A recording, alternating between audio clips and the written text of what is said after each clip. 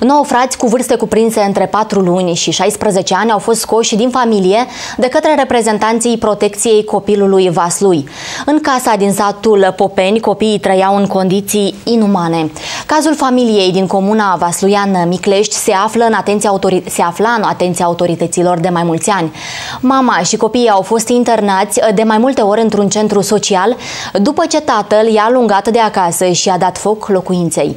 Reprezentanții protecției copilului, alături de un executor uh, judecătoresc și însoțiți de jandarmi, i-au scos pe copiii din familie. Tatăl minorilor, Ioan Ilie, spune că măsura nu este justificată. O parte din copii vor fi încredințați unor asistenți maternali, iar ceilalți vor fi internați într-un centru de protecție al DGASPC.